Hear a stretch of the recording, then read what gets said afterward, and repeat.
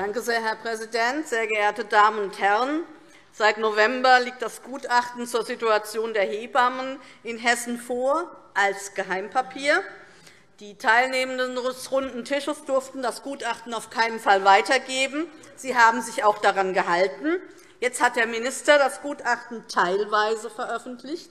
Wie Sie das mit dem Runden Tisch klären, das ist Ihre Sache. Warum Sie aber die Handlungsempfehlung der Gutachter und Gutachterinnen uns vorenthalten, diese Zensur müssen Sie uns heute schon einmal hier erklären. Anscheinend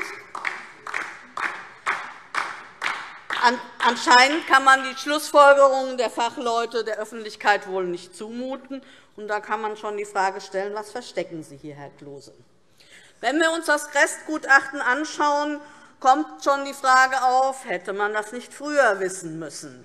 Es gibt Missmanagement im Gesundheitswesen, das wissen wir ja auch. Dazu gehört auch, dass es zu wenige Hebammen im Land gibt.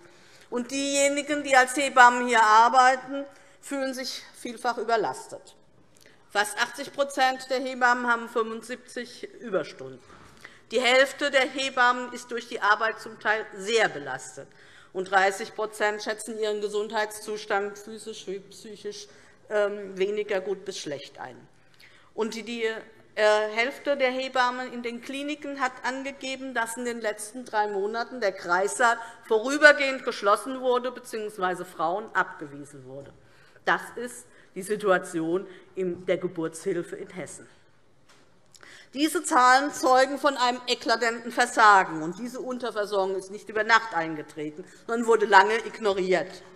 Jetzt hofft man anscheinend im hessischen Sozialministerium, und das hat mich besonders ähm, erstaunt, gewundert, gefreut, ähm, in Anführungszeichen, dass der demografische Wandel es richten werde.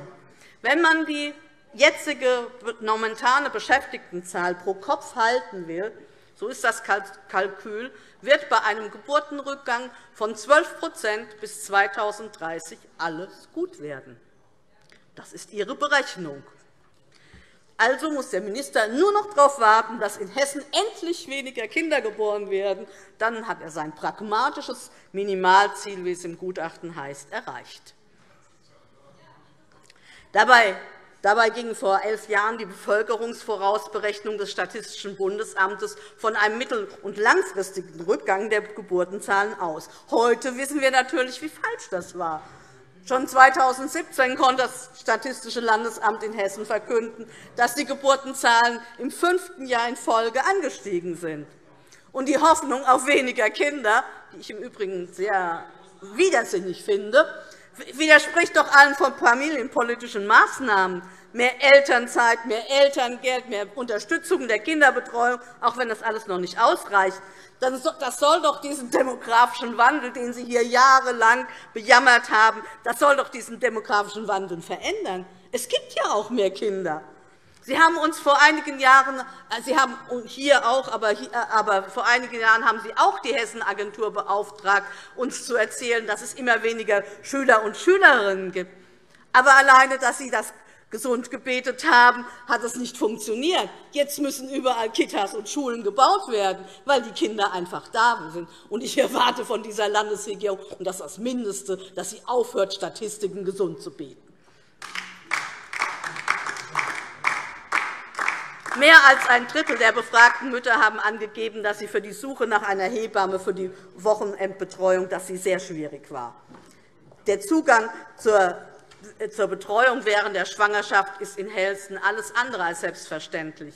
27% der befragten Mütter haben gar keine Hebammenbetreuung in Anspruch genommen. Und die, die sie in Anspruch genommen haben, mussten durchschnittlich sieben Hebammen kontaktieren, bis sie einen freien Betreuungsplatz gefunden haben. Und wenn Sie sich die Landkarte der Unterversorgung beim Hebammenverband einmal angucken, dann können Sie sehen, in wie vielen Kreisen es gar keine Möglichkeit gibt, zu einem gewissen Zeitpunkt, und die Geburt ist nicht zu verschieben, eine Hebamme zu finden. Und wenn Sie planen, diesen Notstand auszusitzen, dann sparen Sie an der völlig falschen Stelle.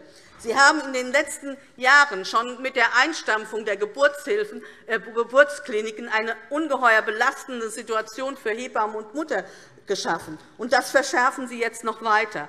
In den Jahren 2008 bis 2019 hat sich die Anzahl von Krankenhäusern mit geburtshilflichen Abteilungen um rund ein Drittel verringert.